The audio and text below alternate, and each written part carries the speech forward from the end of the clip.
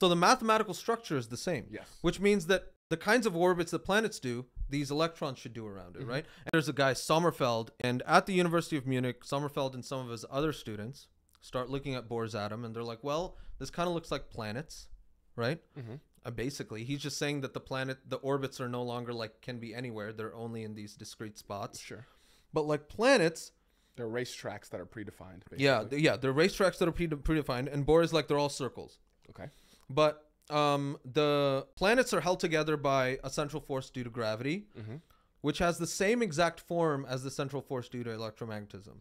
Just the constant is different. Electromagnetism is actually a whole lot stronger. But the one over r squared thing, where it's like if I double the distance, I decrease the force by one fourth. Yes. That thing is the same. Got it. So the mathematical structure is the same. Yes. Which means that the kinds of orbits that planets do, these electrons should do around Mm-hmm. it, right? And planets don't do circular orbits. From the time of Newton and actually from the time of Kepler, we know that they use elliptical, Elliptical orbits, orbits, right? right. Mm-hmm. So Sommerfeld's like, let's generalize this thing, okay? So we've got one number that tells you the orbit that it's in. Mm-hmm. What if we have another number that tells you sort of like the ellipticity Yes. of this thing? Yes. Like how how skewed this orbit is. Yeah, yeah. Is, Okay. is it is it like a, a wider elliptical orbit? yeah, or is it, is it real super super circular? right, You know. right, right, right, right. And then and then so that's that that becomes this guy. Yep. Okay. And so he's like, Let, let's let's let's start including that.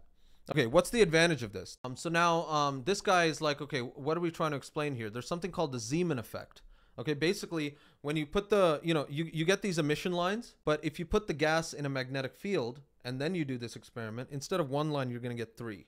Okay. You're going to get the original line, then you get one that's slightly higher frequency and one that's slightly lower frequency. Okay? So this Zeeman effect is now explained because if I've got an elliptical orbit, Yeah. that and I put a magnetic field, Yes. that elliptical orbit can be, he said, can be oriented towards eh, uh, perpendicular or anti-parallel. Uh, right. Right? Like kind of like a magnet. Yes.